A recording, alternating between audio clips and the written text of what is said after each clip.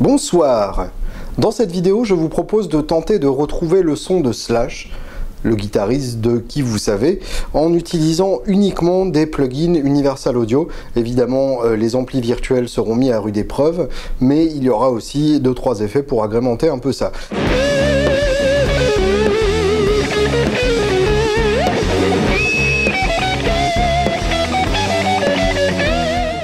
Pour commencer, euh, l'élément indispensable, c'est quand même une guitare avec des humbuckers, de préférence type Les Paul, donc euh, corps à cajou, table érable, manche collée, tout ce qui va bien. Et puis euh, l'accordage un demi-ton en dessous, qui est quand même assez indispensable pour se rapprocher le plus possible du son de slash.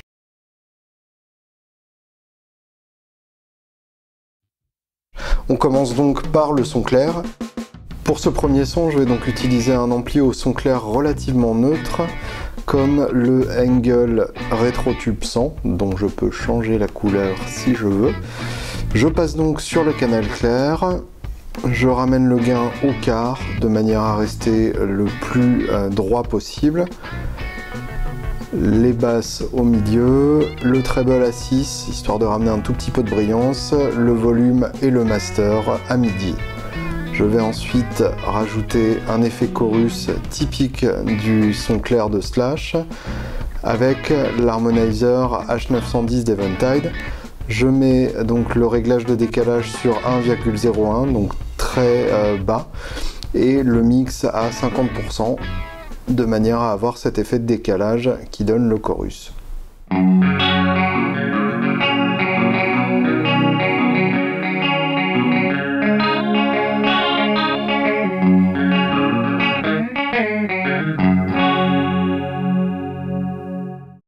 Donc se servir de ce son pour l'intro et le couplet de notre chanson de démo.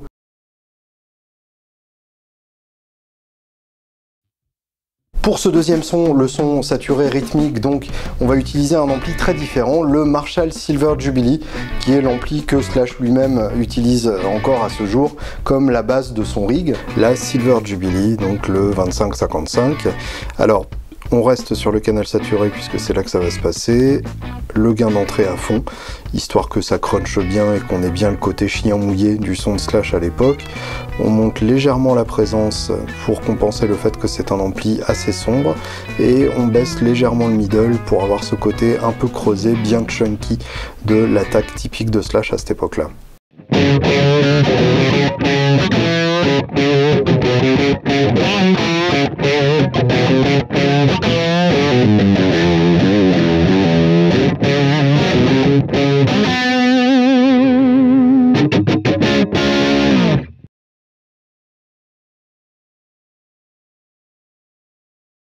Ce troisième son, on reprend le même ampli, c'est-à-dire le Silver Jubilee.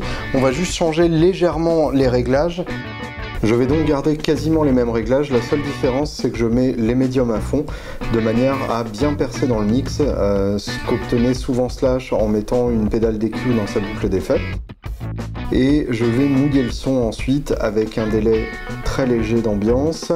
Alors le temps de délai autour de 300 à peu près, histoire d'avoir quelque chose de bien détaché du son d'origine, et baisser légèrement les répétitions de manière à avoir peu de répétitions juste un peu d'ambiance autour du son.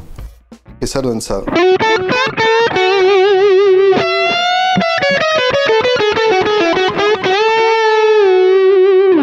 Et je choisis le micro grave qui est vraiment typique de l'attaque mouillée de Slash en solo.